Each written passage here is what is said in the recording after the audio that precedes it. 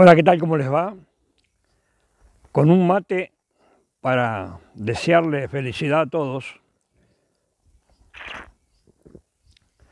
y un trago para acomodar un poco el garguero. Un trago, dijo Fierro, a cualquiera encanta.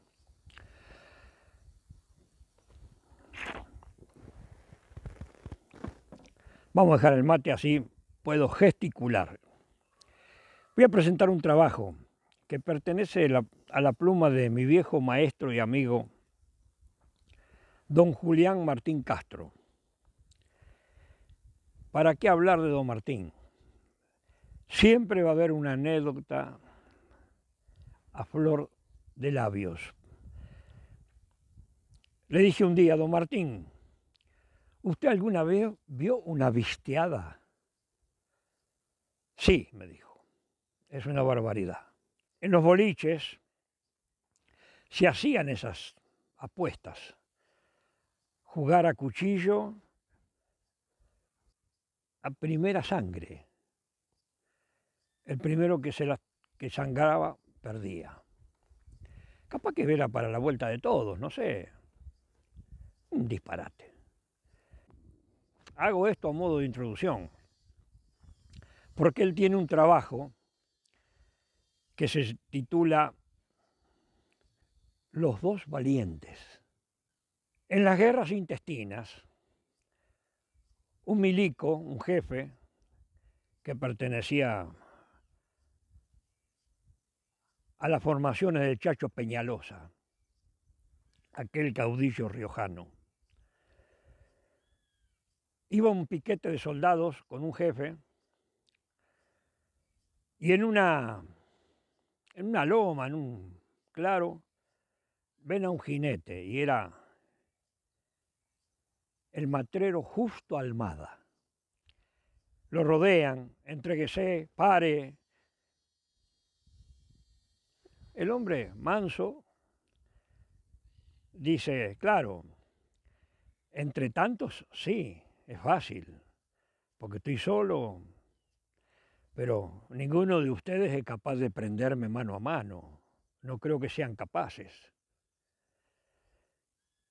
Entre la partida, un sargento se siente ofendido, porque el hombre dijo, son tantos, pero mano a mano no creo que haya uno. Y un sargento le dice, coronel, si me permite, a ese hombre me animo a pelearlo yo solo.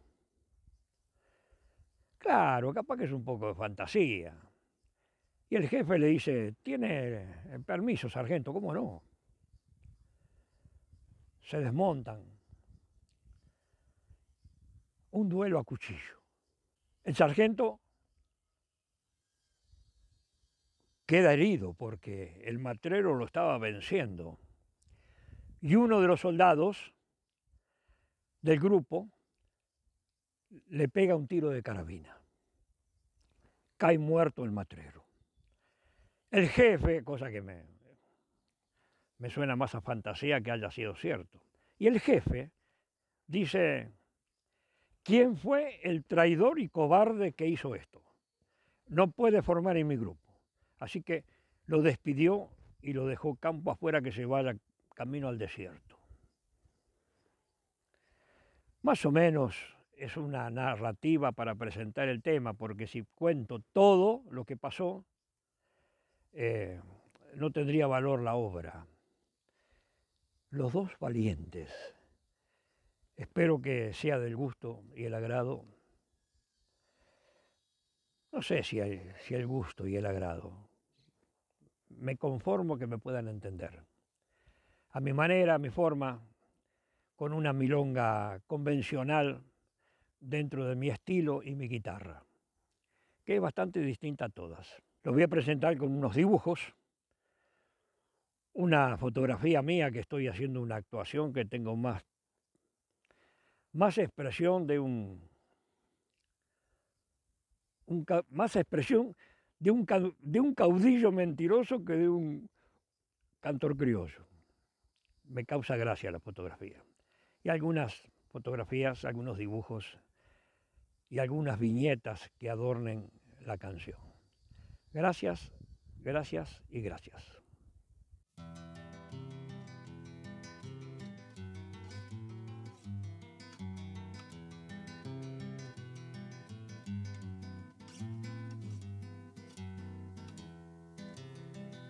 Iba el capitán Medina del ejército del Chacho, caudillo como un quebracho sobre la pampa argentina, orillando una colina al frente de un pelotón y hallaron de sopetón en una desemboscada al matrero justo almada sobre un lindo redomón. ¡Alto! gritó el capitán, no se haga matar al ñudo. Almada, insensible y mudo, no hizo ninguna demán. Acarició su alazán y el potrillo relinchó. Rendite, le repitió el capitán del piquete. Almada levantó el flete y en voz alta respondió.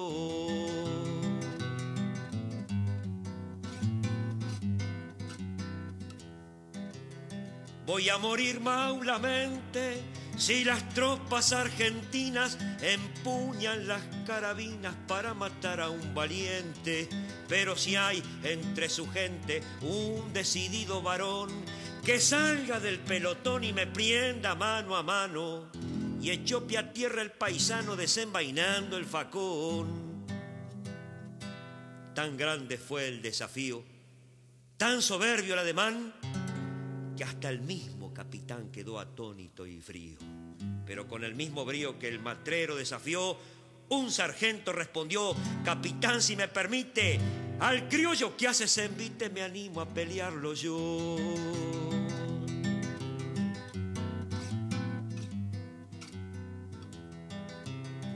Tiene el permiso, sargento, su voluntad es la mía, no puedo a su valentía negarle el consentimiento. Gracias, dijo. Y al momento le pediré otra lealtad, que imponga su voluntad para si en el trance muero, que deje al gaucho matrero en entera libertad. Así lo haré como no.